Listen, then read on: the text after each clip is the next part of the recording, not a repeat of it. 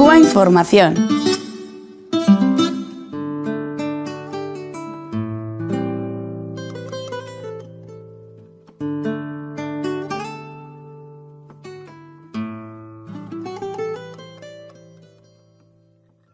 Vamos a intentar trasladarnos a Cuba. Eh, imaginémonos que estamos en un portal, sentaditos en un sillón, de tan- que tanto, tomando un cafecito, eso es, para charlar distendidamente. Pues mira, te voy a hacer una- la misma pregunta que le, planteábamos a Leida Guevara. ¿Tú crees que es importante que figuras públicas como tú, como Aleida, eh, vengan y aparezcan en los grandes medios de comunicación para romper el bloqueo mediático? Sí, y de hecho es una práctica de la revolución.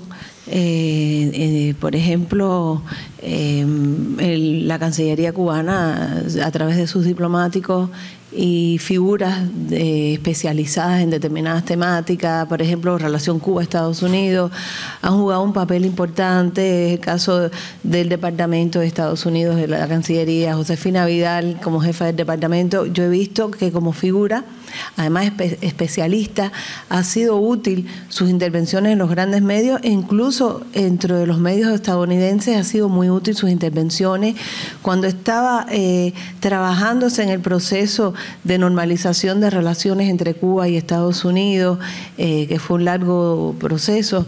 eh, yo pude apreciar cómo, por ejemplo, New York Times, que tuvo una, un trabajo importante, por supuesto, respondiendo a los intereses que estaban dominando en ese momento en la política americana, pero fue positivo para esos fines comunes que teníamos de tratar de normalizar relaciones, o por lo menos restablecer esas relaciones diplomáticas, eh, jugó un papel importante en el New York Times. Entrevistaron a varias personalidades que pudieron comunicar realidades de Cuba y todo eso contribuyó y facilitó el proceso que estaba eh, predominando en ese momento, eh, personalidades de la cultura, de la ciencia, de la vida pública en sentido general han jugado un papel importante eh, en diferentes lugares del mundo, en diferentes países comunicando. Y por supuesto, este, mi trabajo también, eh, eh, hablando de sexualidad, hablo de, de la revolución,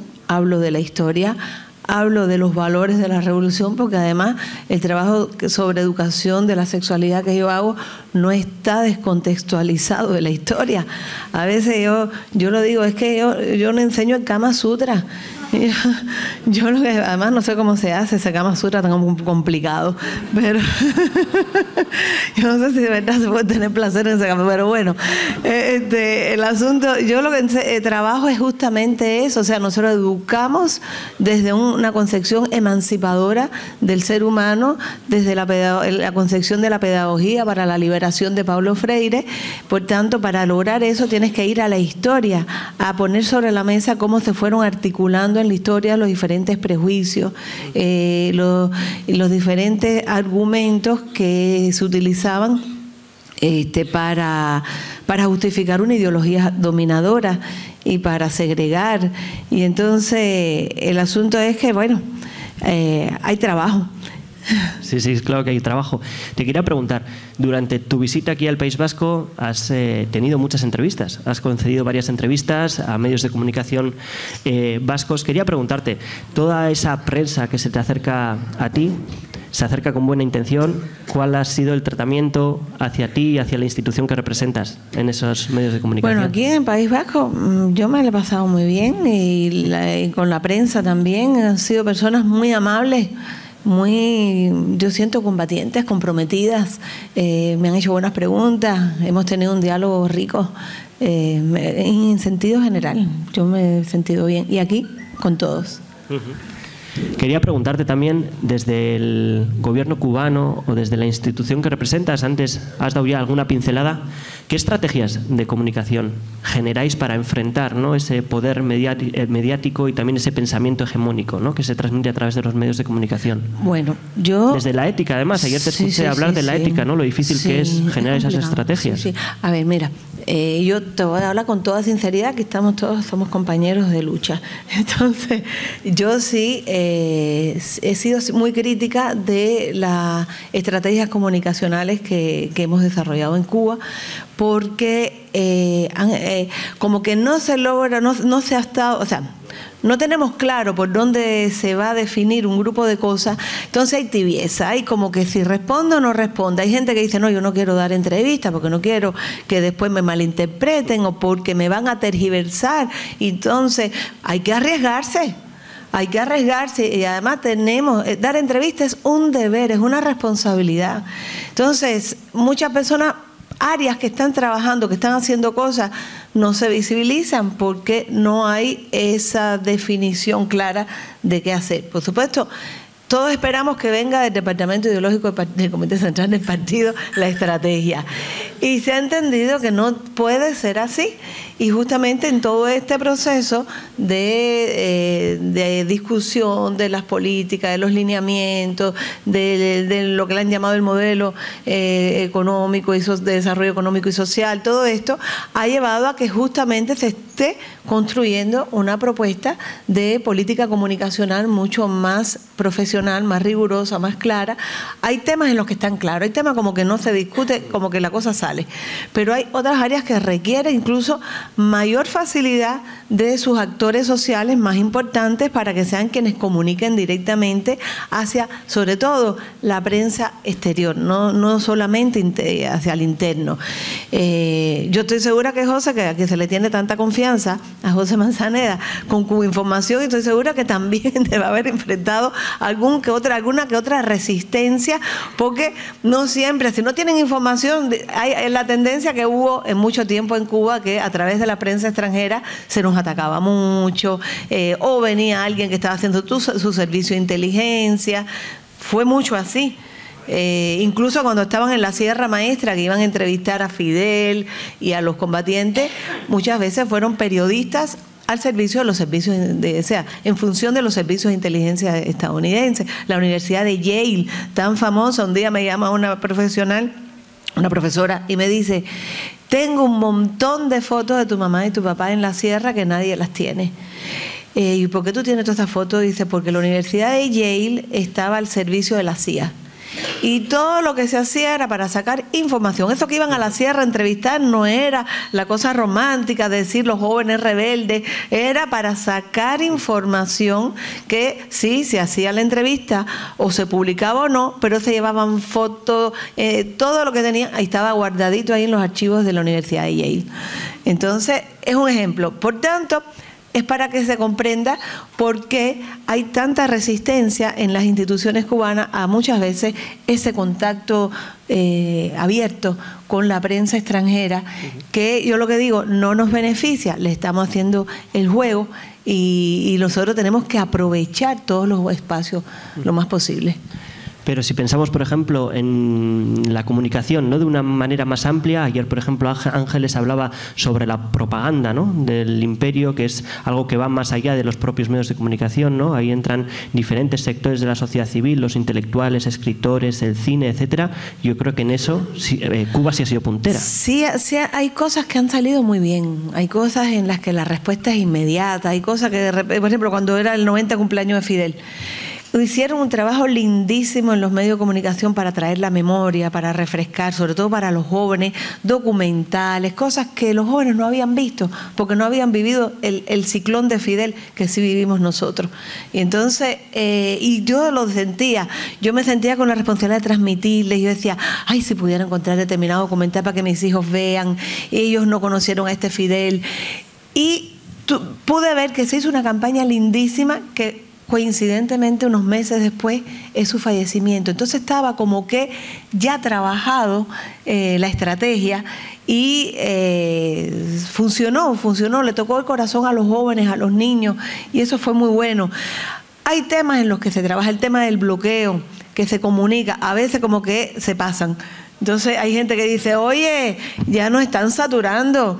Sin embargo, cuando yo presentaba las campañas contra la homofobia me decían un día un día, porque si no vas a saturar a la población. Un día voy a saturar a la población. Es decir, fue complejo armarse. Hay temas que están ya establecido, que están claros, que no nos cabe duda, pero temas nuevos que sí eh, hay, hay sus tibiezas, sus temores, y lleva tiempo de diálogo. No es que nos peleemos, es que lleva tiempo para el diálogo y tratar de que se comprenda que solo con estrategias comunicacionales vamos a llegar mucho más rápido a involucrar a la población y al mundo en determinadas informaciones, en determinadas posturas, porque ese conocimiento te lleva a posturas. ¿Te lo estoy haciendo muy largo? No, que va. Ah, Una maravilla escucharte. Ah, bueno, porque me da pena, que me pase de tiempo, que ayer me pasé. No, hoy estamos sin prisa. Eh, quería también preguntarte, cuando tú lees una entrevista o ves un audiovisual en el que apareces tú, eh, y ves que algunas cosas de las que has dicho están bien reflejadas, otras no, tanto, ¿crees aún así que ha merecido la pena esa entrevista, que ha servido para cambiar ese imaginario que hay de Cuba, o te arrepientes de haberlo Nunca me he arrepentido, nunca me he arrepentido, siempre siento que fue bueno. Eh, aunque en medio de las verdades de la selección de verdades que me hacen de lo que digo, porque no, esto a veces digo, ay, pero cuánto trabajé, qué tiempo le dediqué, cuántas cosas le conté, y, y mira lo que puso. Dos palabritas y ni siquiera lo más importante de lo que le transmití. Entonces muchas veces se quedan con el floreo, con la forma, con la parte más atractiva, que termina siendo el mismo estereotipo, pues se vuelve a hacer otro estereotipo, incluso de mí eh, y de mi trabajo. Eh, eh, generalmente tratan de situarlo en ah, la hija del presidente, la sobrina de Fidel Castro, como si por eso es que yo pudiera hacer este trabajo. Y por eso es que yo tengo acceso a los medios. Y yo me rijo, bueno, por el Ministerio de Salud Pública, yo tengo que pedir mis permisos al ministro, que es mi jefe inmediato, yo tengo que pedir permisos al partido, o más que permiso, porque yo no, al partido no le tengo que pedir permiso realmente, yo voy a buscar la alianza del partido.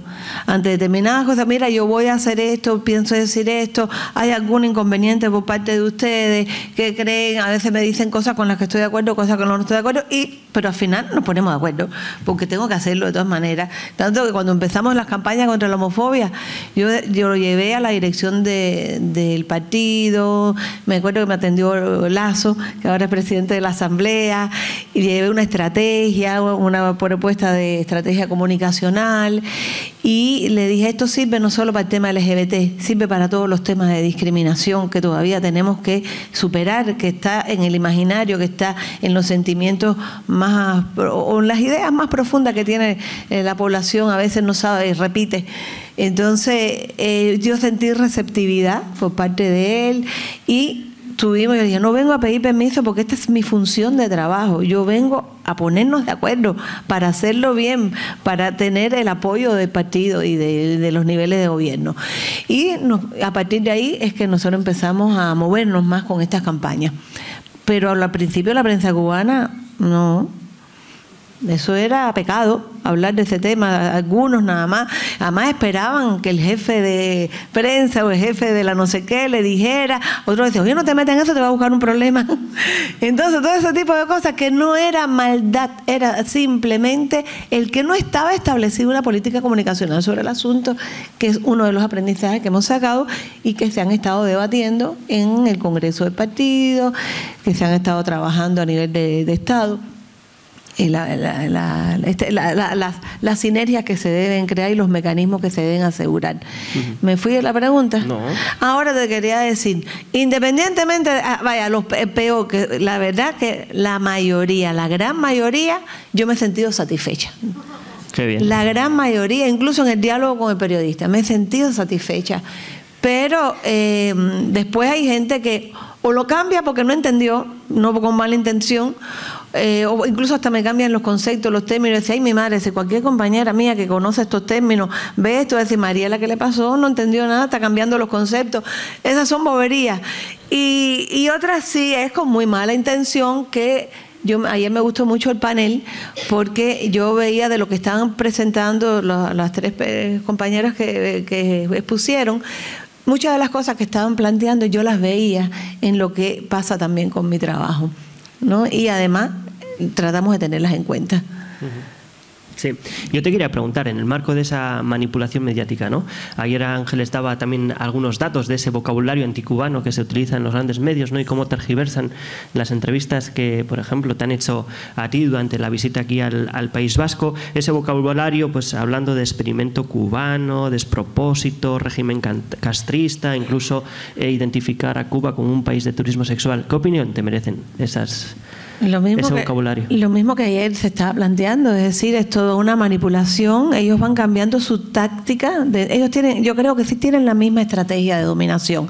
La estrategia no creo que haya cambiado, creo yo, muy, este, con mucha humildad lo digo, porque no soy experta en comunicación. O sea, yo lo que identifico, Ángeles decía que van ajustando la estrategia, van ajustando tácticamente, porque el objetivo es el mismo, es un ejercicio de dominación permanente y buscan todas las vías posible. Ahora, eh, en medio de... Quería hacer otra cosa, pues se me fue. Eh, esa, hay palabras que son clave. Hay clichés que son clave para utilizarlo y seguirlos reforzando. Y tú ves que es en cadena. Todos los refuerzan de la misma manera. Vienen políticos, por ejemplo, de otros países a visitarnos. A CNC van mucho porque eh, CNC le funciona para unas cosas también a, sus intereses, porque CNC en algunos puntos coincide con las luchas que ellos están llevando. Por ejemplo, la lucha contra la homofobia, que no creo que lo hagan por humanidad, sino para tener controlada a una población, para tener el voto de esa población, para tener el apoyo. Además, se centran sobre todo en el matrimonio igualitario como si eso fuera el único derecho de las personas LGBT. Entonces, si yo digo, nosotros no estamos solo por el matrimonio igualitario, estamos por todos los derechos para todas las personas. Por tanto, eh, no, tiene, este, no, estamos haciendo justicia si nos centramos solo en esa meta, eh, porque hay programas políticos que se han centrado solo en eso y se presentan y se venden como muy exitosos y muy democráticos por haber logrado la ley, pero no evitaste que la sociedad cambiara, que no fuese homofóbica, que no haya crímenes de odio. Entonces yo siempre digo, la ley sola no garantiza derechos, hay que hacer un trabajo mucho más profundo de transformación de las conciencias. Pero bueno, mira, como F en Guadalajara me modificó lo que dije, F que ni siquiera fue a mi conferencia en la Universidad de Guadalajara este año y, y, tergiversó totalmente lo que yo había dicho y por supuesto los medios cloacas de, de Miami y de aquí, que hay dos muy importantes, eh, se, se, dedicaron a engrandecer todavía ese enredo que había amado alguien de F. Por supuesto no voy a culpar a la agencia F, porque está integrada por muchas personas. Y entonces nunca antes yo había tenido ese tipo de, de situación. Yo te tengo que dar una noticia. ¿Qué? Que nos lo hemos perdido esta mañana. Pero le han dado el segundo premio al medio más mentiroso a El País. ¡Qué raro! ¡Qué sorpresa! ¿Verdad? Mira, te quería preguntar, en un mundo global. Déjame terminarte una cosita porque hablaste de palabras. Mira, a veces yo lo que hago es usar sus propias palabras para atacarnos por un periodo eh, a nosotros eh, en Cuba no se hablaban de las palabras que utilizaban nuestros adversarios para atacarnos. Y yo lo que decía, tenemos que apropiarnos de ellas, no podemos dejárnoslas quitar.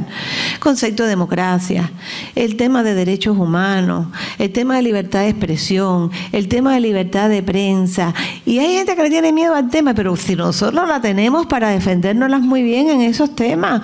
Entonces hay que usarlo. Hay ocasiones que cuando, como dicen, el régimen de eh, castrista, el régimen cubano, todos los países tienen un régimen. Entonces yo le hablo de su régimen porque eh, es usar la misma palabra que te están poniendo sobre la mesa, darle la vuelta. Después ellos ponen lo que les da la gana. Pero si por lo menos es en vivo, ahí ya no te lo pueden cambiar. Y esa es otra de las cositas que allá se ha usado, o sea, no lo he hecho solo yo, lo hicieron muchas personas, lo siguen haciendo. prefieren a veces en vivo para poder decir cosas y no se las pueden cambiar. Hablabas de la libertad de prensa, ahora justo te quería preguntar sobre eso. Eh, en un mundo globalizado, ¿no? el capitalismo ha mercantilizado la vida y en ese sentido la información también es mercancía. Nosotras ahora consumimos información. ¿Tú crees que la libertad de prensa puede estar supeditada a intereses económicos? ¿O qué opinas sobre eso? Absolutamente. Está, está supeditada a intereses económicos. y, y, y bueno, en el caso de Cuba, ¿cuáles son los intereses, son los intereses de clase? La clase está sustentada en una condición económica, la clase social, pero cuando los medios están en función de la clase social dominante, ¿cuál es la clase social dominante en Cuba? Entonces, eh, realmente no podemos salirnos de los marcos teóricos, metodológicos de análisis histórico de la sociedad en los contextos históricos concretos. Esa es una clave teórico-metodológica que nos dejó Carlos Marx. Y, si la tienes en la mano, te sirve para siempre para interpretar la realidad, para entender qué va detrás de la noticia, qué información se está tratando de sustentar o justificar, qué información eh, se está escondiendo, como por ejemplo cada vez que hay un conflicto, un, conflicto armado o una intervención en un país, una supuesta ayuda humanitaria con armas, eh, eh, sabemos que hay un interés económico y hay gente que no lo sabe. Entonces, eh, el, papel de, la prensa, de un periodista honesto, es justamente darle herramientas de análisis a la población que consume la noticia. No es dar la noticia porque de repente tú recibes una cantidad de noticias y dices, ay Dios mío, qué mal está todo, que no sé qué, te, atormentas. Y, eh, pero si, tú tienes que empezar a pensar ¿Por qué están dándote esta noticia? ¿Para qué te están bombardeando con estas informaciones? ¿Qué, están ¿Qué opinión pública internacional están pretendiendo generar? Para que, esté, que además después que después, si logran o no generar esa opinión pública internacional favorable a lo que piensan hacer, si se creó o no, tampoco les importa. Los bombazos los meten de todas maneras.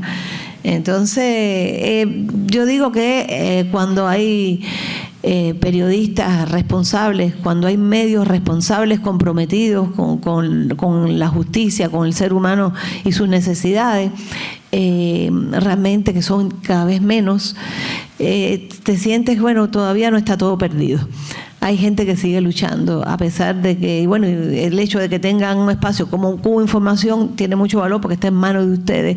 Muchas veces hay periodistas que hacen un buen trabajo, después le editan una basura y el pobre periodista quedó mal. Mm le pasa mucho, porque además lo he conversado con los propios periodistas. Muchas veces le digo, ven acá, de todo esto, ¿qué me van a cortar? ¿Qué tú crees que te quiten? Para hacer énfasis en, lo que tú crees, vaya, eh, para que no te lo quiten todo. O sea, a, veces con los mismos periodistas nos ponemos de acuerdo en cómo vamos a trabajar. Eh, volviendo a la temática de este decimocuarto encuentro, ¿qué crees que podemos hacer desde el movimiento de solidaridad con Cuba para mejorar nuestro trabajo en los medios? Bueno, en primer lugar, muchas gracias por todo lo que han hecho hasta ahora y con muy pocos recursos y además en condiciones de hostilidad, porque también ustedes reciben eh, no solamente la prensa, también las figuras del arte y de la cultura, eh, los pensadores libres han tenido problemas como este Willy, eh, todas las dificultades que ha tenido. Hay periodistas que han tenido también muchas dificultades eh, y, se, les hace el cerco y se les trata de aislar. Son de una crueldad infinita. Y entonces... Eh, por eso digo que han hecho mucho y hay que sentirse por nuestra parte agradecidos y por parte de ustedes orgullosos y orgullosas. Pero eh, yo creo que era por eso la pregunta que yo intentaba sintetizar ayer y no me salía. Eh, Ángeles, yo le preguntaba, ¿no? ¿Qué, ¿Cómo podemos articularnos eh, mejor a partir de las experiencias que ya se tienen? ¿Qué, ¿Qué vamos identificando que funciona ¿Qué vamos identificando que no funciona, hay que trabajar en red, porque de manera aislada no se logra nada. Una sola persona gritando no se le oye, pero cuando gritan mucho sí se oye. Entonces tenemos que ser, eh, o sea, lo que estoy es invitando y además me invito a lo que Ángeles decía ayer de un buen frente antiimperialista en el campo mediático, no sé si se dice así, o de los medios de comunicación. ¿Qué estrategia? Vamos a hacerla juntos, vamos a trabajar juntos, vamos a estar en sintonía para que con mayor fuerza tenga mayor impacto eh, los objetivos que perseguimos en desarticular esas fuertes campañas que hay en los medios. Ayer ya daban algunas sugerencias al panel, algunas sugerencias muy buenas. Algunas ya de hecho lo hacemos Otra eh, la tenemos que incorporar con mucho más, eh, operacionalizar esas ideas en acciones muy concretas dentro de las estrategias que hagamos juntos. Por eso yo nos intercambiamos los correos y las cosas para que me tengan en cuenta en lo que vayan a hacer, porque a veces estamos tirando piedras así y yo a veces digo, ¿esto está teniendo efecto o no? ¿Esto está ayudando a la causa que nos une o no?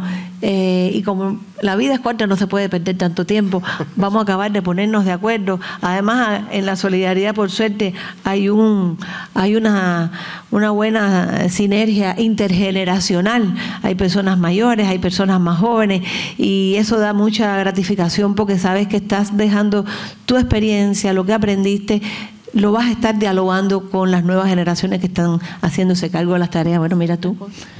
Y ya para acabar, también desde tu sentimiento, quería preguntarte, es el tercer día del encuentro de estatal de seguridad con Cuba, cinco días ya llevas aquí, en el País Vasco. Has llenado salas, bueno, tú y Aleida Guevara habéis llenado salas en Donosti, en Guetaria, algo impensable de verdad en estos tiempos en los que todas y todos estamos hasta arriba de militancias varias y de espacios de lucha. Habéis llenado esas salas. ¿Qué sientes al llegar de Cuba y ver que aún bajo un bloqueo criminal y una manipulación mediática, la sociedad, la gente os sigue recibiendo y sigue demostrando esa solidaridad con Cuba? ¿Qué sientes desde lo personal? Primero, muy emocionada. Estoy cansada, pero estoy muy satisfecha.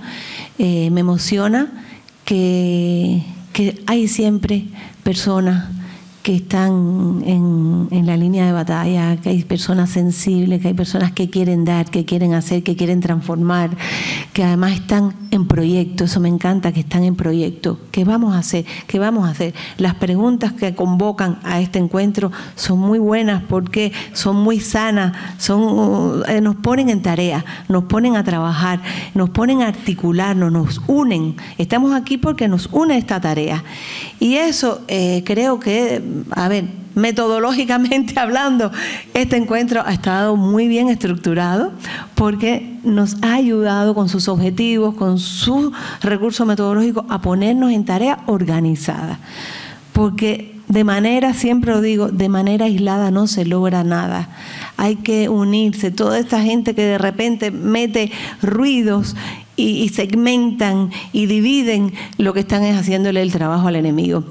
Entonces hay que abandonar todo tipo de vanidades y hay que buscar los puntos que nos unen para ponernos a trabajar en una tarea común que no es ni de comunistas, ni de socialistas, ni de, ni de, ni de trotskistas, ni de nada. Es simplemente anhelos de los seres humanos, anhelos históricos de los seres humanos, organizarnos para avanzar, para progresar como eh, desde los valores civilizatorios.